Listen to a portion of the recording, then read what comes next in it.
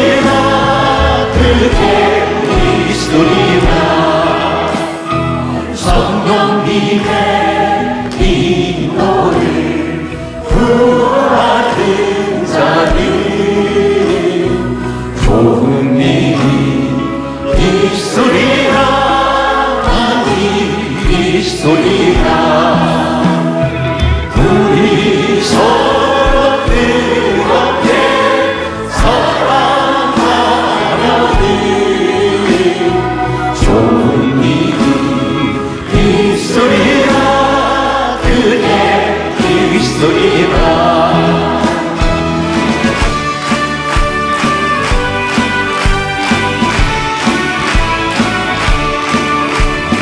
이 세상의 모든 죄를 밝히시는 주께로나 성전에서 그리 앞이 찬송하고 찬송하네. 우리 앞을 버릴 거다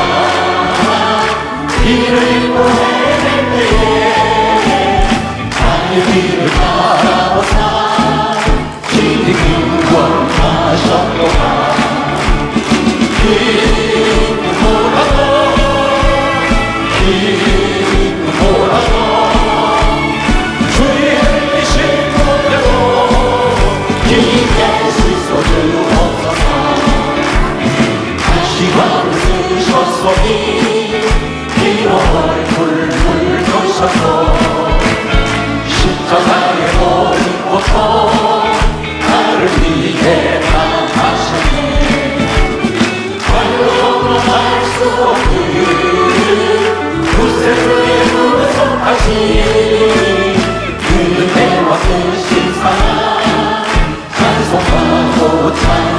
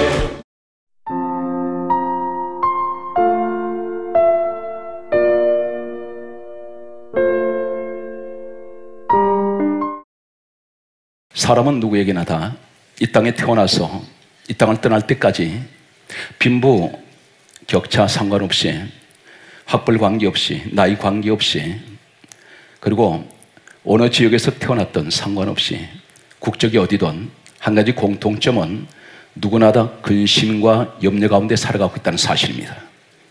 세상 사람들은 염려와 걱정, 근심 가운데 잡혀 있을 때 방법이 없습니다.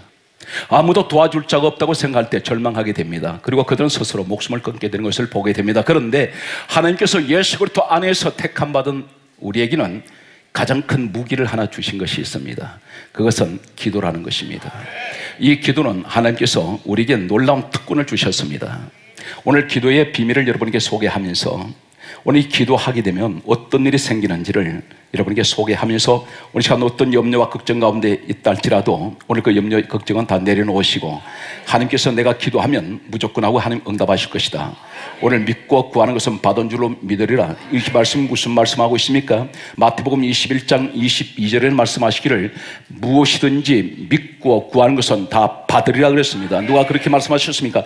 예수님이 그렇게 말씀하셨습니다. 주님이 거짓말 하셨을까요? 오늘 여기 서 있는 저는 목회자의 한 사람으로서 믿고 구했던 것은 다 주신 것을 저는 수없이 체험하고 또 체험합니다.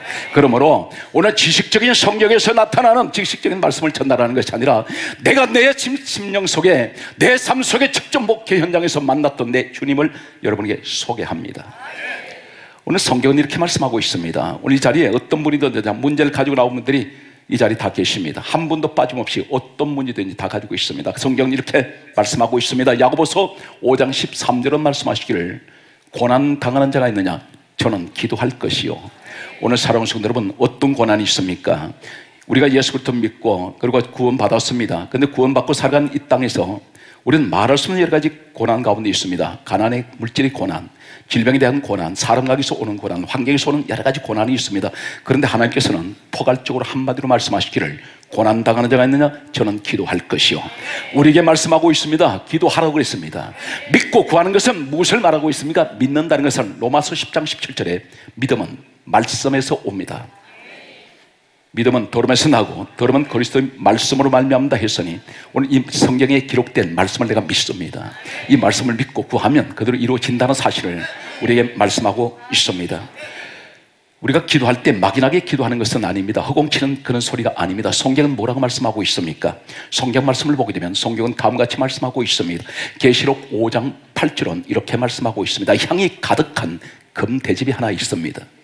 향이 가득한 금대집이 있는데 이 금대집은 성도들의 기도라 이렇게 말씀하고 있습니다. 하나님께는 우리가 기도를 올릴 때 어떻게 받으십니까? 향으로 받으신다는 사실입니다. 그 향이 그냥 올라가는 것이 아니라 아지랑이처럼 연기처럼 올라가는 것이 아니고 우리가 기도를 하게 되면 이 기도가 향이 되어서 금대접에 담겨진다는 사실입니다.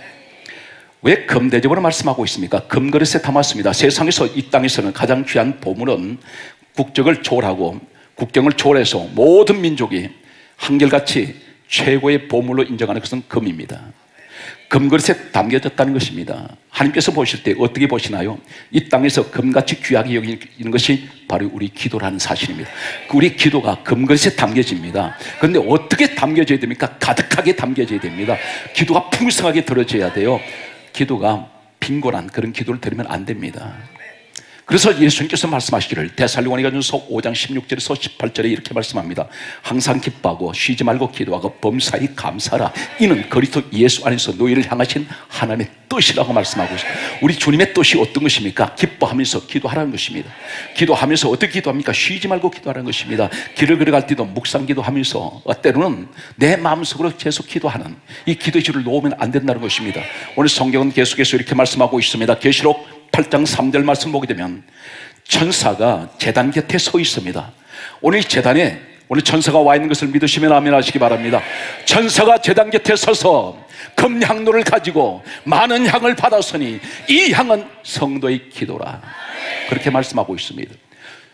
기도하면 천사가 찾아옵니다. 성경 말씀 보게 되면 다니엘이 기도할 때마다 가버려 천사장이 찾아왔습니다. 천사는 누구를 좋아합니까? 기도하는 사람을 좋아합니다. 오늘 천사는 히브리서 1장 14절에 모든 천사들은 하나님의 부리는 영이라 했습니다. 구원 얻을 후사들을 위해서 하나님 보내주셨다고 했습니다. 이 천사들은 어떤 사역을 합니까? 정성도가 기도할 때에 그 기도를 금향물 아니면 금대집에 받아서 어디로 올라갑니까? 성경이 이렇게 말씀하고 있습니다. 계시록 8장 4절 말씀 보게 되면 천사의 손으로부터 하나님 보좌 앞 금단으로 올라갑니다. 하나님 보좌 앞으로 올라갑니다. 하나님 보좌 앞에는 금단이 있는데 여기 불이 담겨 있습니다. 계시록 8장 5절 말씀 보게 되면 천사가 하나님 보좌 앞 금단으로 올라가더니 금향로 다시 말해서 성도의 기도가 담겨진 이 향로에다가 금단의 불을 거기다 담습니다. 기도가 담겨 있는 그것에 그 향로에다가 불을 담습니다. 이 불을 담아서 성경 강조하고 있습니다. 계시록 8장 5절 말씀 보게 되면 땅으로 쏟아버립니다. 땅으로 쏟았다는 것은 뭘 말합니까? 내 기도가 하늘로 올라갔다가 불이 담겨서 내려온다는 사실입니다. 불이 담겨서 내려올 때 성경은 네 가지를 말씀합니다. 뇌성, 음성, 번개, 지진이 일어나더라는 사실입니다. 번개, 내성, 이것은 어디에 있습니까? 하늘에 있습니다. 번개불이 하늘에서 번쩍입니다. 순식간에 몇 킬로든지 몇백, 몇천 킬로든지 순식간에 번개는 지나갑니다. 번쩍하는 순간에 천지가 진동합니다. 지진은 어디서 일어납니까? 땅을 진동시킵니다. 땅이 쩍쩍 갈라집니다. 땅을 진동한다는 것은 땅을 움직일 수 있다는 것입니다. 무엇을 우리에게 말씀하고 있냐면 내가 기도할 때에 천사가 와서 내 기도를 받으면 이 기도가 가득 채워질 때에 하나님 보좌 앞으로 올라갔더니 이 보좌 앞으로 올라간 이 기도 향로 속에 불을 담아서 땅으로 내려오는데 내려오니까 하늘과 땅을 진동시키는 능력이 기도 가운데 있더라는 사실입니다. 기도는 이런 놀라운 능력이 나타납니다. 여러분 불받기 원하십니까? 내 마음은 간절하지만 불이 그렇게 오지 않습니다. 오늘 성경은 어떻게 말씀하고 있습니까? 역대하 7장 1절에 보게 되면 그 지혜의 왕이라 하는 솔로몬이 기도를 마칠 때에 하늘에서 불이 떨어집니다. 오늘 사랑하는 성도만 지식을 자랑하지 마세요. 권력을 자랑하지 마세요. 솔로몬은 왕입니다. 지혜의 왕입니다. 아무리 똑똑해도, 아무리 지혜가 많고, 아무리 세상 권력이 있어도, 그도 역시 기도하는 사람이라는 것입니다. 불을 받으려면 기도해야 합니다.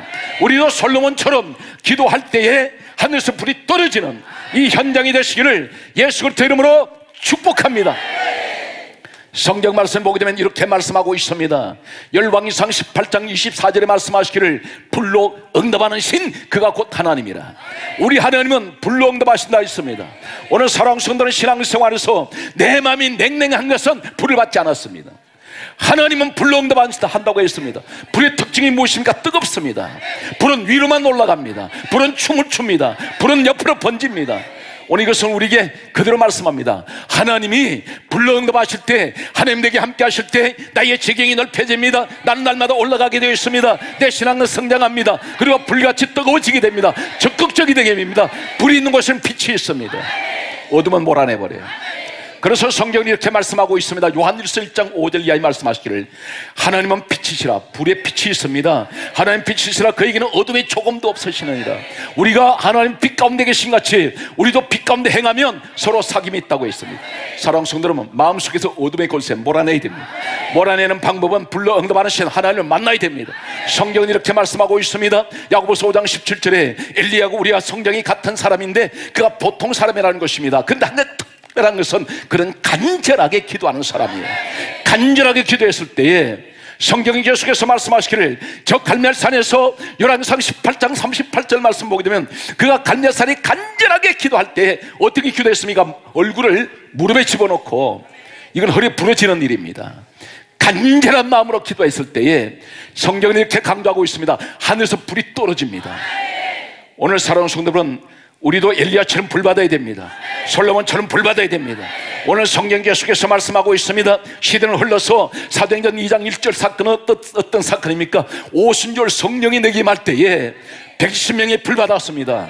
바람 같은 불 같은 성령 역사가 임할 때에 어떻게 했습니까? 사도행전 1장 14절에 저희들이 마음을 같이하여 전혀 기도에 힘서니라.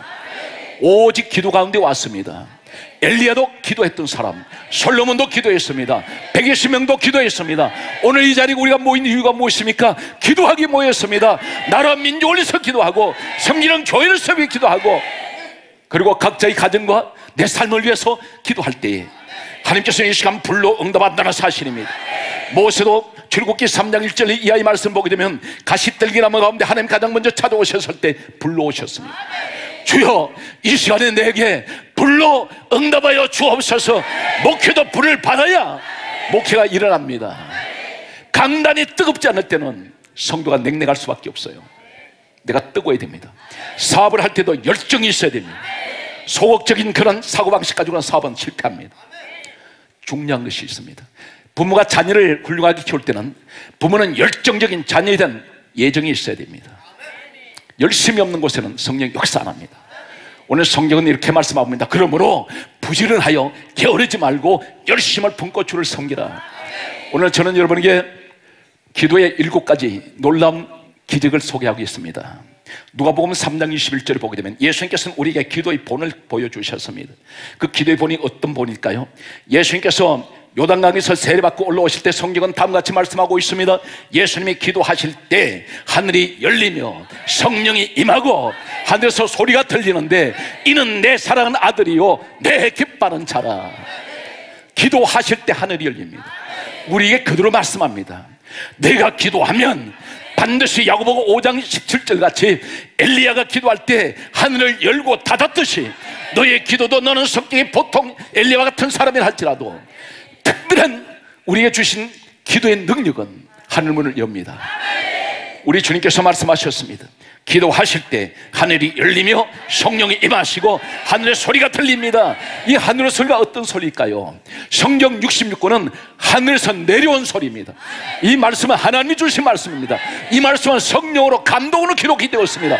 그러므로 이 말씀에 내가 귀, 귀가 열리더라는 것입니다. 평소에는 교회 나와도 세상 소리만 자꾸 들렸습니다. 하나님 말씀이 들려지면 졸리기 시작합니다. 그런데 내가 기도할 때에 하늘이 열리면서 성령이 내게 임하실 때에 하늘 소리가 들리기 시작합니다. 영적인 소리가 들립니다. 그러면 사실 말씀에 너는 내 아들이요. 너는 내 자녀라는 것입니다. 어떤 사람에게 말씀합니까? 기도하는 사람에게. 기도가 기본입니다. 그러므로 기도하지 않는 사람은 하나님 손을 안 씁니다. 성경 뭐라 말씀합니까? 네가 구하지 못한 것은 다시 말해서 얻지 못한 것은 기도하지 않았기 때문에 얻지 못한 것은 구하지 아니함이요 구해도 잘못 구한 것은 네가 정욕적으로 구했다는 것입니다. 하나님 뜻에 맞춰서 기도해야 됩니다. 그분의 거룩한 영인 여러분과 함께 하시기를 바랍니다. 성경 계속해서 이렇게 말씀하고 있습니다. 이는 내 사랑하는 아들이요 내 기뻐하는 자라. 어떤 사람은 하나님이 기뻐하실까요? 우리 주님이 기뻐하는 사람은 기도하는 사람입니다. 저는 오늘 이 밤에 여러분이 이 자리에 나와서 기도하신 여러분은 분명 한 분도 빠짐없이 우리 주님이 기뻐하는 사람들만 이 자리에 오셨습니다. 하나님 가장 기뻐하시는 사람은 기도하는 사람이었습니다. 두 번째, 기도의 기적은 어떤 것일까요? 누가복음 22장 32절 말씀 보게 되면 반드시 기도하는 사람은 믿음이 떨어지지 않습니다. 예수님께서 그렇게 말씀하셨습니다. 내가 너희를 위해서 믿음이 떨어지지 않기 위해서 내가 기도하노라. 우리 주님은 우리 위해서 기도해 주십니다. 우리 믿음이 떨어지지 않도록. 오늘 여러분, 내가 기도 열심히 하- 하면 반드시 내 믿음은 떨어지지 않습니다. 세 번째는 어떤 축복이 있습니까? 기도의 축복은 누가복음 22장 40절 말씀에 이렇게 말씀하고 있습니다. 기도하는 사람은 시험이 오지 않습니다. 성경은 예수님께서 그렇게 말씀하셨습니다. 베드로에게 기도하라고 말씀하셨는데 베드로가 잠자고 있었습니다. 그때 예수님께서 말씀하시기를 시험에 들지 않게 깨어 있어 기도하라. 사랑하는 성도 여러분, 오늘 이 자리에 기도한 여러분들은 시험이 한 길로 왔다가 일곱 길로 도망갈 줄 믿으시기 바랍니다. 오늘 질병에 대한 시험, 물질에 대한 시험, 자식에 대한 시험, 왜 그런 게 생각하십니까? 왜 이런 문제가 왔느냐 말하기 전에 내가 기도가 부족했구나. 하나님은 성경에 말씀합니다. 창세기 49장 28절에 각인의 분량대로 축복한다 그랬는데 하나님이 내게 주신 기도에 분량이 있다는 것입니다. 로마서 9장 24절에 우리가 그릇이라 있습니다. 내가 하나님 내게 주신 그릇이 있는데 이 그릇은 각각 다릅니다. 각자가 그릇이 다르고 달란트가 다르고 재능이 달라요. 그런데 하나님께서 내게 주시고자 하신 엄청난 축복이 있는데 내 기도가 따라가지 못합니다. 잠시 전에 말씀드렸습니다. 향이 가득한 금대접이라 있습니다. 바닥에 나면 안 됩니다. 천사가 누구에게 함께 한다 그랬습니까? 기도하는 사람에게. 오늘 여러분 기도의 사람이 되십시오. 그래서 저는 이렇게 말씀드립니다. 기도를 낙을 삼고, 기도를 취미 삼고, 기도를 즐기는 사람이 되어야 돼요. 오늘 성경은 계속해서 우리에게 말씀하는 것을 보게 됩니다. 성경 말씀 보게 되면 우리가 성령을 받을 때 어떻게 받나요? 사도행전 8장 15절은 이렇게 말씀합니다. 기도하는 사람에게 성령이 임합니다. 목회를 지금까지 해오면서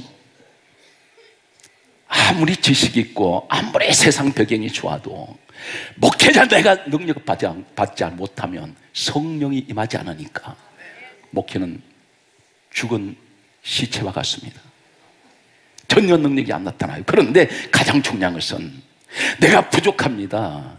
나는 아무 세상에 배경이 없어요. 그런데 성령님이 나와 함께 하니까 목회가 살아나고 목회가 사니까 성도가 살아요. 간단히 말씀이 살아나니까 성도가 희망이. 소망을 가집니다. 오늘 사랑하는 성도 여러분 기도를 때로는 7시간 이상씩 기도 엎드릴 때 왜 그렇게 기도를 시켰는지 처음에 몰랐습니다. 그런데 시간이 흘러갈수록 성령님께서 서시기 위해서 강권적으로 무릎 꿇게 하시는데 어떤 시험이 왔기 때문에 7시간 기도한 게 아닙니다.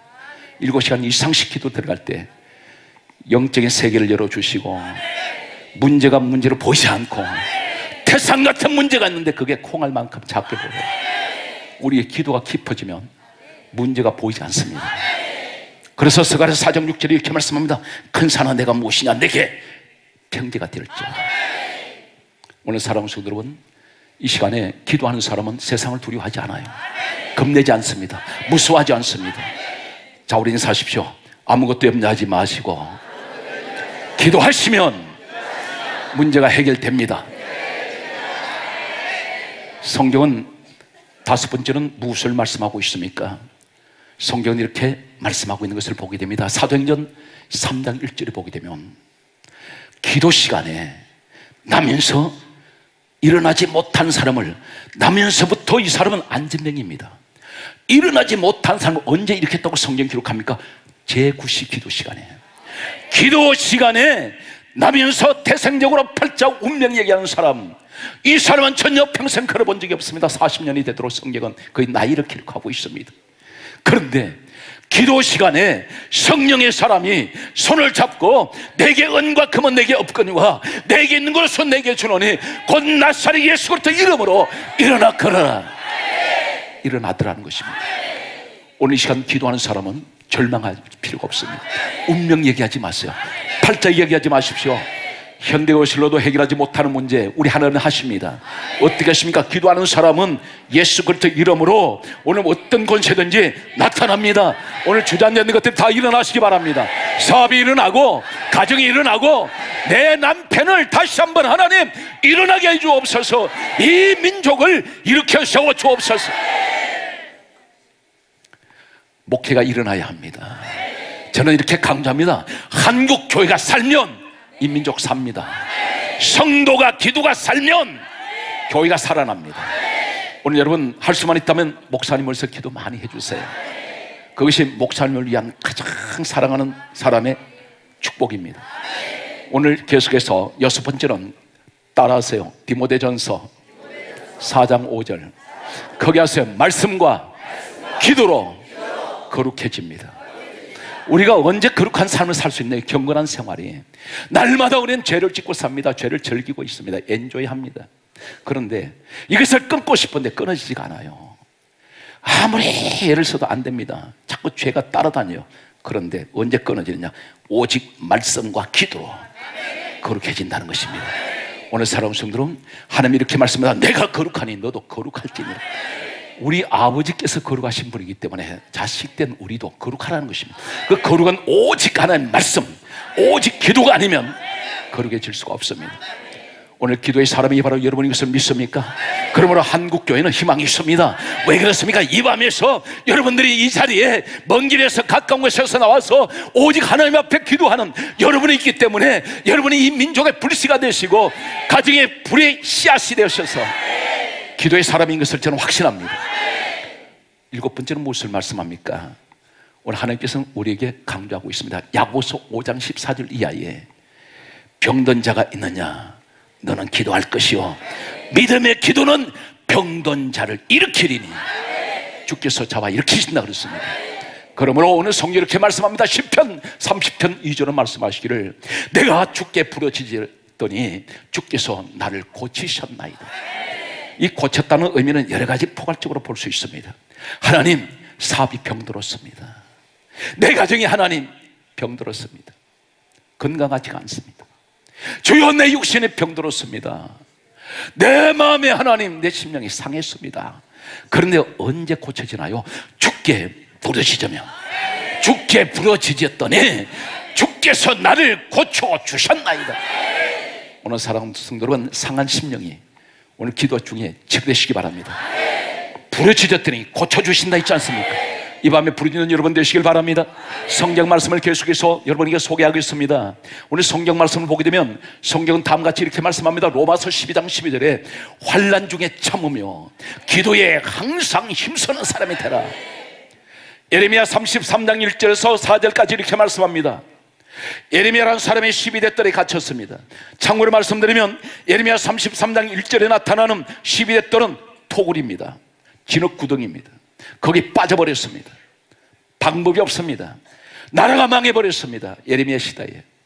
바벨론에게 전부 다 포로 잡혀갔고 이 시드기야의 왕이라는 사람은 눈을 빼버렸습니다. 그를 포로로 끌고 바벨론으로 사람들이 끌고 갔습니다. 왕자들은 이 왕 앞에서 왕자들 다 죽여버렸습니다. 예레미야는 42년 동안 소명을 받고 일했던 사람입니다. 그런데 이 사람이 붙잡혀서 토굴에 갇혀버렸습니다. 거기는 물이 없는 곳이라 했습니다. 진흙에 빠져버렸습니다. 하루 이틀이 아닙니다. 태어날 수가 없습니다. 나라는 없어져 버리고 망해버렸습니다. 아무도 도울 자가 없습니다. 사방을 돌아보니 전부 다 적들밖에 없습니다. 진옥 속에서 헤어날 수가 없습니다. 여기서 죽을 것 같습니다. 소망이 끊어져 버렸습니다. 이때 하나님이 찾아오셨습니다. 어떻게 찾아오셨나요? 환상 가운데 왔습니까? 아닙니다. 꿈으로 보여주셨습니까? 아닙니다. 어떻게 말씀합니까? 성경은 에레미야 33장 1절에 에레미야에게 여호와의 말씀이 임하니라 하나님 말씀이 그들 찾아왔습니다 말씀으로 왔습니다 말씀이 오늘 똑같이 주의 종을 통해서 하나님의 여러분의 말씀을 전하고 있습니다. 이 말씀을 내가 받아들입니다. 이 말씀은 요한복음 1장 1절에 하나님의 말씀이라 했습니다.